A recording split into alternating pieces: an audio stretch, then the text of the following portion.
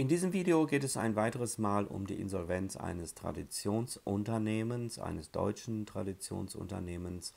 Und zwar musste der Fahrradhersteller Prophet Mitte Dezember letzten Jahres Insolvenz anmelden. Das Unternehmen sitzt in Reda Wiedenbrück. Der Insolvenzantrag wurde in Bielefeld gestellt beim dortigen Amtsgericht. Guten Tag und herzlich willkommen bei Insolvenz TV Horion. Mein Name ist Ulrich Horion, ich bin Rechtsanwalt in Dresden. Ich arbeite bundesweit auf dem Rechtsgebiet des Insolvenzrechts. Ja, das Fahrradunternehmen Prophet hat zuletzt 280 Mitarbeiter beschäftigt. Es hat auch E-Bikes äh, konstruiert und produziert. Der Vertrieb der Fahrräder erfolgte hauptsächlich über Discountmärkte wie Aldi und Lidl sowie über Baumärkte. Wir wissen nicht die Gründe der Insolvenz.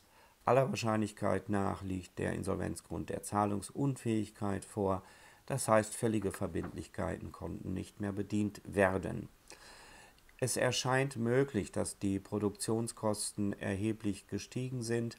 Außerdem ist es möglich, dass von Seiten der äh, Einkäufer erheblicher Preisdruck auf Prophet ausgeübt wurde denn äh, es wurde beobachtet, dass in letzter Zeit die Prophet-Fahrräder zum Teil zu erheblich niedrigen Preisen auf dem Markt angeboten worden sind. Warten wir ab, wie es weitergeht. Über die Unternehmensfortführung können wir derzeit auch noch keine Informationen einholen. Der vorläufige Insolvenzverwalter wird äh, die Sachlage klären und in seinem Insolvenzgutachten dann einen Vorschlag unterbreiten. Die weitere Frage ist jetzt, ähm, inwiefern Verbraucher, also Käufer von Fahrrädern von der Insolvenz betroffen sind. Hier ist zunächst auf die vertraglichen Gewährleistungsansprüche hinzuweisen. Die vertraglichen Gewährleistungsansprüche hat der Käufer immer gegenüber seinem Verkäufer. Das ist also Lidl, das ist Aldi oder das sind die Baumärkte. Bei neu hergestellten Sachen beträgt die Gewährleistungsdauer äh, regelmäßig zwei Jahre. Ab Übergabe, ab Kauf also. Eine andere Situation ergibt sich, wenn der Hersteller eine Garantie abgegeben hat, also unmittelbar. Das kommt häufiger vor bei höherwertigen Kaufgegenständen. Diese Garantie würde den Zeitraum vom dritten bis zum fünften Jahr betreffen, wenn die Garantiedauer fünf Jahre äh, also als über fünf Jahre vereinbart wurde.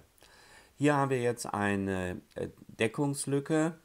Diese Ansprüche können nicht mehr durchgesetzt werden. Es besteht aber die Möglichkeit, die Ansprüche äh, zur Insolvenztabelle anzumelden. Sie nehmen dann an einer etwaigen Schlussverteilung äh, teil. Die Ansprüche sind Insolvenzforderungen nach 38 der Insolvenzordnung. Sie sind umzurechnen auf Euro nach 45 der Insolvenzordnung. Man müsste also in einem Schadensfall zu einer Werkstatt gehen und sich einen Kostenvoranschlag erstellen lassen. Diesen Kostenvoranschlag würde man dann ähm, als Forderung zur Insolvenztabelle anmelden. Insolvenzforderungsanmeldungen äh, sind im Übrigen möglich bis zum Schlusstermin. Das kann im vorliegenden Fall mehrere Jahre lang dauern, bis es zum Schlusstermin kommt. Die in einem Eröffnungsbeschluss mitgeteilten äh, Anmeldefristen sind keine Notfristen. Wenn zu diesem Thema noch weitere Fragen sind, könnt ihr euch jederzeit gerne an mich wenden. Ansonsten danke ich für die Aufmerksamkeit. Ich freue mich bereits auf das nächste Video und sage Tschüss bis zum nächsten Mal.